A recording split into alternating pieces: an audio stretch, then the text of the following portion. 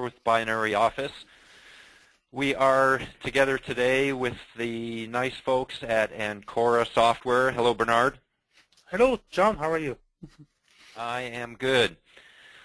Well, as a quick introduction, Binary Office is a paper process automation company. We help our, our customers across the U.S.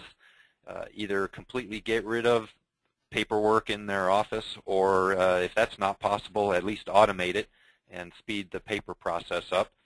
Today we're here to show you quickly a fantastic product for specifically accomplishing one paper problem, and that is how to automate OCR and scanning of paper invoices.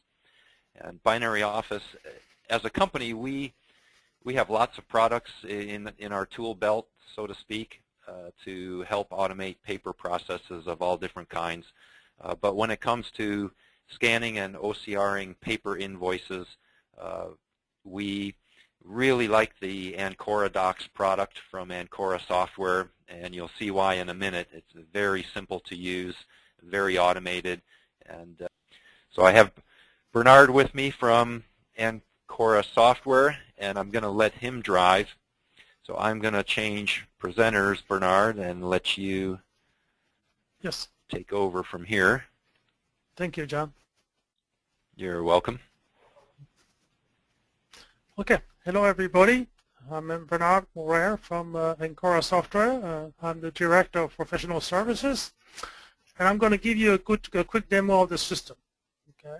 So uh, basically, I'm going to bring up the uh, the normal screen, welcome screen uh, of the uh, invoice invoice processing system.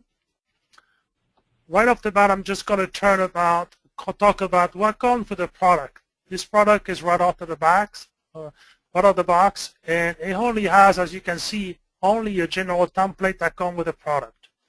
This template is just basically a white page with uh, yellow boxes in here.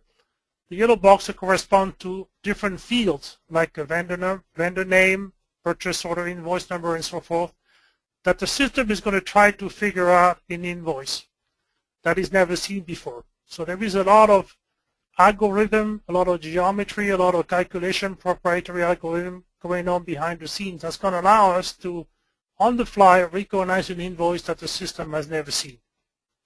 So let's start off the bat. What I'm going to do is I'm just going to not say anything, pretty much. I'm just going to process those three invoices. And these are run-of-the-mill invoices that you can find in, this, in, a, in, a, in a business. They are not too simple. They are not too complicated. Uh, but they're just the normal invoice that you will get from any vendor.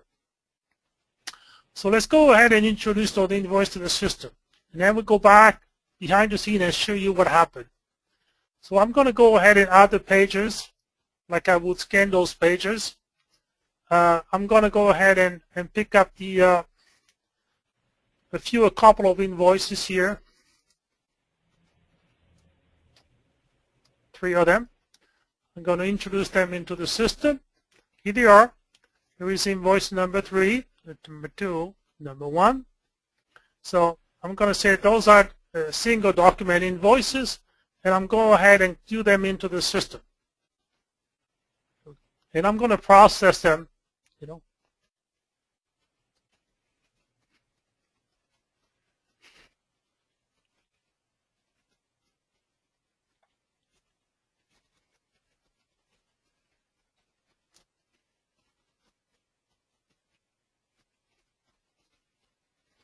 And this is uh, this John here. This is actually one of the one of the neat things about Ancora Docs and what has really amazed us here at Binary Office we've been in the in the business a long time and, and work with lots of different products, but right out of the box, uh, Ancora Docs with just the the the the magic, if you will, that that uh, Ancora software has put into what they call their general template. And uh, the amazing thing that is that it it does allow you to process invoices that it's never seen before. So and it looks like we're ready there. It looks like Bernard. Yes. Ready? So I'm standing at the verify station. Thank you, John. And I have a blue a button that says, uh, you know, I have job waiting for me. So as an operator, I'm just going ahead and to grab the invoice. And I'm just going to quickly process those invoices for you.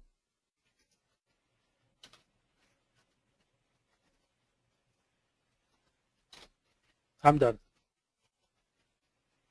So this is quickly how quickly I can process invoices into our system that the system has never seen before.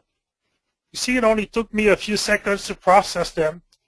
And a few strokes of the keys, I have everything ready and balanced and ready to export. Now, let's take a pause for a second here and go back behind the magic and see what happened. Remember when we had a, just a general template to start with? Now look, the system has magically created on the fly without any intervention from my end custom templates for those three invoices for vendors he has never seen before. So here are those templates here. Okay.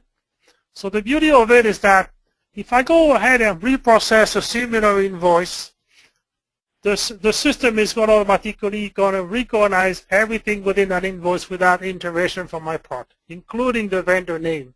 See, the vendor name is already selected out.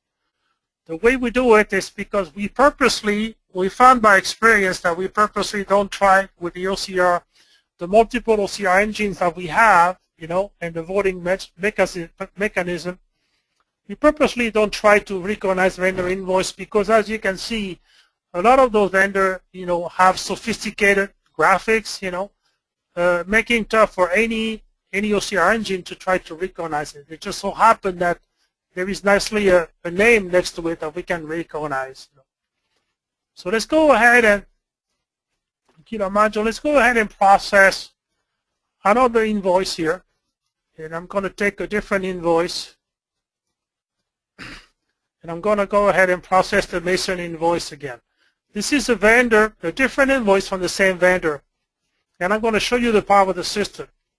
Now, when I'm going to queue this uh, this invoice into the system, the system is going to, you know, is going to uh, process those uh, that invoice,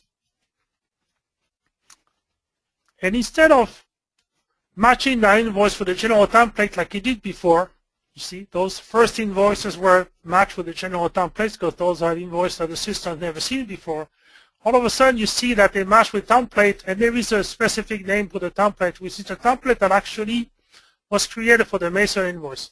So let's see what the system has done now. Once again, the blue light lights up for the operator to see that there is job waiting for him to do. And you see by magic, all of a sudden, you know, I no longer have to click to the vendor name. The vendor name is automatically recognized. So all you have to do is push a key that tells the system, show me if there is any problem with that invoice. The system said, no, there is no problem. Everything is in balance. So I can save that invoice.